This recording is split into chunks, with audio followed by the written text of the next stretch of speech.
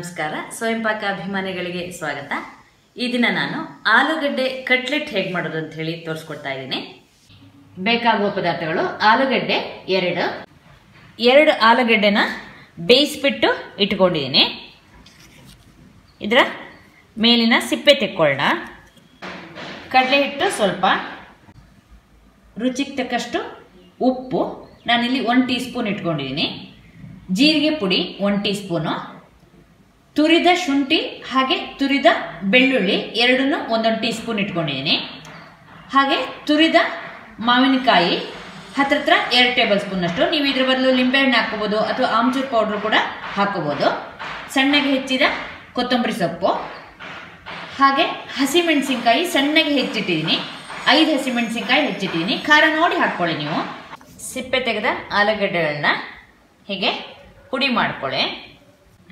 ಪುಡಿ ಮಾಡಿದ ಆಲೂಗಡ್ಡೆಗೆ ಉಪ್ಪು, ಜೀರಿಗೆ ಪುಡಿ, ಕೊತ್ತಂಬರಿ ಸೊಪ್ಪು, ಮಾವಿನಕಾಯಿ ತುರಿ, ಶುಂಠಿ ತುರಿ, ಬೆಳ್ಳುಳ್ಳಿ ತುರಿ, ಹಾಗೆ ಹಸಿಮೆಣಸಿನ್ಕಾಯಿ ಎಲ್ಲ ಹಾಕಿಬಿಟ್ಟು ಚೆನ್ನಾಗಿ ಇದನ್ನು ಕಲಿಸ್ಕೊಳ್ಳೋಣ.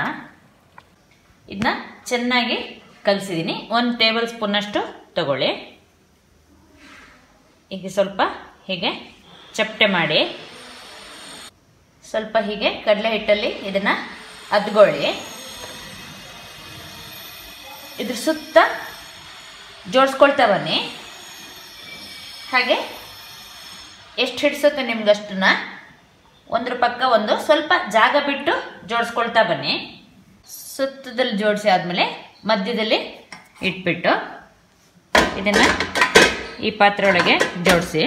ಇದನ್ನ ಆಕ್ಸಿ ಫ್ರೈರ್ಗೆ ಜೋಡಿಸ್ಬಿಟ್ಟು ಇದನ್ನು ಮೂವತ್ತು ನಿಮಿಷಕ್ಕೆ ಇಲ್ಲಿ ಸೆಟ್ ಮಾಡ್ಕೊಳ್ಳೋಣ.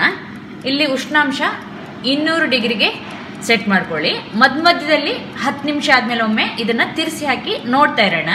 ಈಗಿಟ್ಟು ಹತ್ತು ನಿಮಿಷ ಆಗಿದೆ. ಈಗ ಇನ್ನು ಸ್ವಲ್ಪ ಆಗಬೇಕು. ಆದಮೇಲೆ ತಿರ್ಸಿ ಹಾಕೋಣ. ಹಾಗೆ ಮತ್ತೆ ಒಳಗಡೆ. ಹದಿನೈದು ನಿಮಿಷ ಆಗಿದೆ ಈಗ. ಇದನ್ನ ಹೊರಗೆ ತೆಗೆದ್ಬಿಟ್ಟು ಒಂದೊಂದನ್ನೇ ನಿಧಾನವಾಗಿ ಬಿಡಿಸ್ಕೊಂಡು ತಿರ್ಸಿ ಹಾಕೊಳ್ಳೋಣ.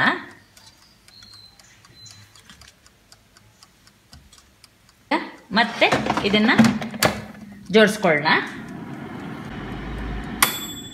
ಈಗ ಮೂವತ್ತು ನಿಮಿಷ ಆಗಿದೆ. ಇದಾಗಿದೆಯಾ ನೋಡೋಣ. ನೋಡಿ, ಚೆನ್ನಾಗಿ ಗರಿ ಗರಿಯಾಗಿ ಆಗಿದೆ. ಇದನ್ನು ತೆಕ್ಕೊಳ್ಳೋಣ.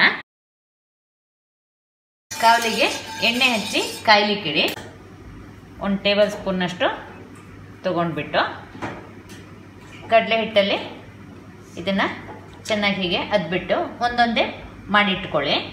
ಕಾವಲಿ ಚೆನ್ನಾಗಿ ಕಾದಿದೆ. ಕಾವಲಿ ಮೇಲೆ ಸುತ್ತ ಫಸ್ಟು ಇಟ್ಕೊತಾ ಬನ್ನಿ.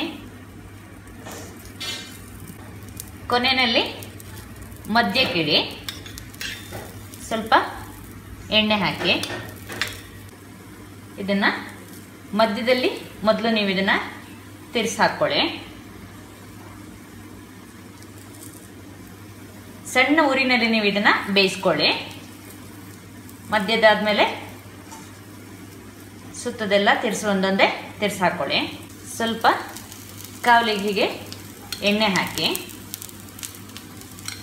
ಮಧ್ಯದಲ್ಲಿ ಬೇಗ ನೀವು ಮಧ್ಯದ್ದೇ ಪಕ್ಕಕ್ಕೆ ಮಾಡಿಕೊಂಡು ಈ ಬದಿನಲ್ಲಿ ಇದನ್ನು ಮಧ್ಯಕ್ಕೆ ಮಾಡ್ಕೊಳ್ತಾ ಇದನ್ನು ಚೆನ್ನಾಗಿ ಎರಡೂ ಕಡೆನೂ ಕೆಂಪಗಾಗೋ ಹಾಗೆ ಇದನ್ನು ಕಾಯಿಸ್ಬೇಕು. ಈಗ ಎರಡು ಸೈಡು ಈಗ ಕೆಂಪುಗೆ ಕಾಯಿಸಿದ್ದೀನಿ ಎಲ್ಲವೂ ಕೆಂಪಾಗಿದೆ. ಸ್ಟವ್ ಆಫ್ ಮಾಡೋಣ ಇದ್ರ ಮೇಲೆ ಸ್ವಲ್ಪ ಹೊತ್ತಿರಲಿ. ಇನ್ನು ಗರಿ ಗರಿ ಆಗುತ್ತೆ. ಈಗ ಇದು ಸಿದ್ಧವಾಗಿದೆ. ಇದನ್ನು ಒಂದು ತಟ್ಟೆಗೆ ತೆಕ್ಕೊಳ್ಳೋಣ ಆಕ್ಸಿ ಫ್ರೈರ್ನಲ್ಲಿ ಎಣ್ಣೆ ಇಲ್ಲದೆ ಮಾಡಿದಂತಹ, ಹಾಗೆ ಕಾವಲಿ ಮೇಲೆ ಮಾಡಿದಂತಹ ಎರಡು ಆಲೂಗಡ್ಡೆ ಕಟ್ಲೆಟ್ಟು ಸಿದ್ಧವಾಗಿದೆ. ಅದನ್ನು ನೀವು ಹಸಿರು ಚಟ್ನಿ, ಅಂದರೆ ಗ್ರೀನ್ ಚಟ್ನಿ ಒಟ್ಲಿಕ್ಕೆ ತಿನ್ನಲಿಕ್ಕೆ ತುಂಬ ಚೆನ್ನಾಗಿರುತ್ತೆ. ನೋಡಿ, ಎಷ್ಟು ಚೆನ್ನಾಗಿ ಹೊರಗಡೆ ಗರಿ ಗರಿಯಾಗಿ ಬಂದಿದೆ ಅಂತ ಹೇಳಿ. ನಾನು ಮಾಡಿದ ಗಾತ್ರದಲ್ಲಿ ಒಟ್ಟು ಇಪ್ಪತ್ತೈದು ಕಟ್ಲೆಟ್ ಆಗಿದೆ. ಈ ಕಟ್ಲೆಟನ್ನು ಗ್ರೀನ್ ಚಟ್ನಿ ಹಾಗೆ ಸಾಸ್ನೊಟ್ಟಿಗೆ ತಿನ್ನಲಿಕ್ಕೆ ತುಂಬ ಚೆನ್ನಾಗಿರುತ್ತೆ. ನೋಡಿದ್ರಲ್ವಾ? ಆಲೂಗಡ್ಡೆ ಕಟ್ಲೆಟ್ ಹೇಗೆ ಮಾಡೋದು ಅಂತ ಹೇಳಿ ನೀವು ಕೂಡ ನಿಮ್ಮ ಮನೆಯಲ್ಲಿ ಕಟ್ಲೆಟ್ ಅನ್ನು ಮಾಡಿಬಿಟ್ಟು ನಿಮ್ಮ ಅಭಿಪ್ರಾಯ ನಮಗೆ